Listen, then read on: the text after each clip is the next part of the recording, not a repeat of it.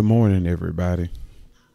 My name is Richard L. Scott, and I'm the Black Christian Geek. Welcome to episode two of season one of Linux and More. I promised in my introductory video that I'd be providing more videos about apps and helpful things for those of us who are using Linux. Today we're going to look at AutoKey. AutoKey is a text expander, but for me, it's definitely one of those things that's easier to demonstrate than to try to explain. So, in this first example, we have what's called phrases. And I'm going to come back to this one, the dummy text. I'm going to create a new one to demonstrate that. So we'll say phrase, and I'm just going to call it BCG, as in Black Christian Geek. Say OK. So for the phrase, I'm going to type out, help if I have my glasses on, Black, Black Christian Geek. Simple. Title case. And then when I come down to abbreviations, I select set add and say BC, BCG.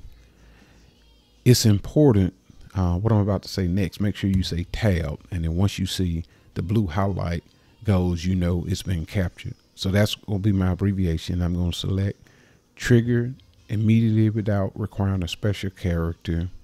And this is set by default. Remove the abbreviation. So the abbreviation is going to be, will be replaced with the full wording trigger even if it's a part of a word. So if you get to typing quickly and you forget to hit the space bar, it'll still expand.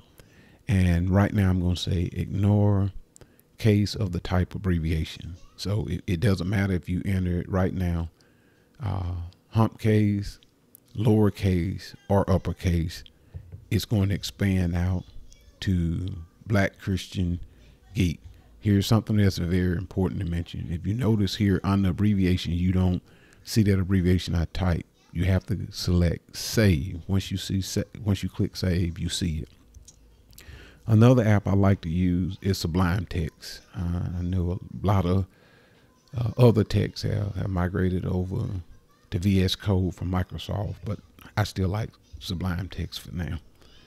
So when I type BC as I hit G, because I hit the I, I, set the trigger to autom- to automatically expand, it expands out to Black Christian Geek. And again, if I do it in all caps, it still only expands out to what I have because of that flag I set here. So when we go back here, now I'm going to change that. Before I said ignore the the case of the type of the abbreviation. Now, when I say match, depending on how I type the abbreviation, it's going to affect how this is expanded out. So I need to click save again to save my changes. So now if I do all lowercase, Black Christian Geek will come out all lowercase.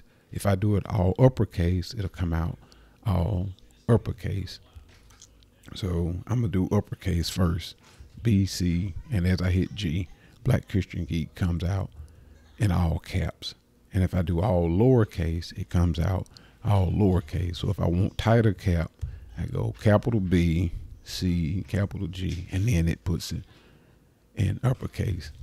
Now I get it that you may not immediately pick up on this the first time um, you you see this, and it does take some muscle memory. But I'm absolutely convinced that if you incorporate this into your workflow, it'll make things a whole lot uh, better, easier, and faster for you in in the long run. And I'm gonna show you something else while we're doing this. Some that that I had preloaded that I mentioned um, at at the top of this episode.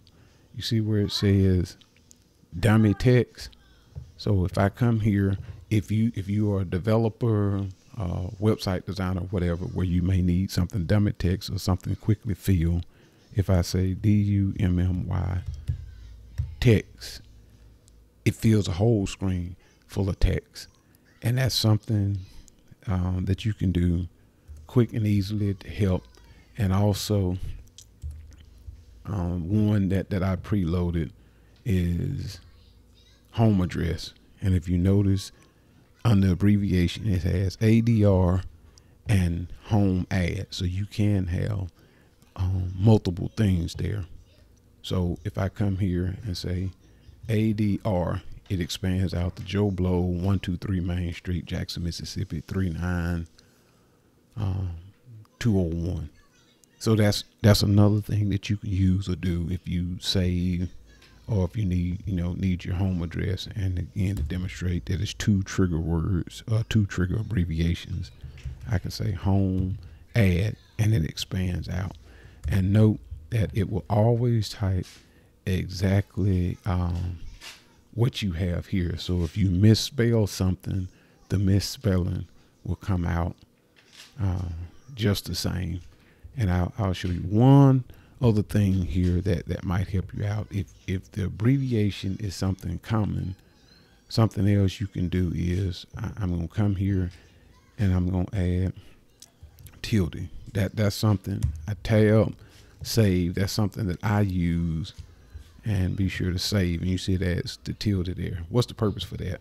So if I say BCG not, nothing happens and it's what we call a trigger character. So if I say B, C, G, then put that tilde there, then it expands out. And then this is kind of like a, a geek deep dive. But the purpose for that is um, as you create more um, abbreviations, some may be of, of common words like like access for ACC or store for accounting, and you can use that trigger character to keep from having to type out um, the full word of the abbreviation is a part of something else, maybe like ATL or what have you. So here here's the site. If you go up to help, come down to about uh, auto key and go to the website, it carries you over to a GitHub site and you can see all all the files as open source.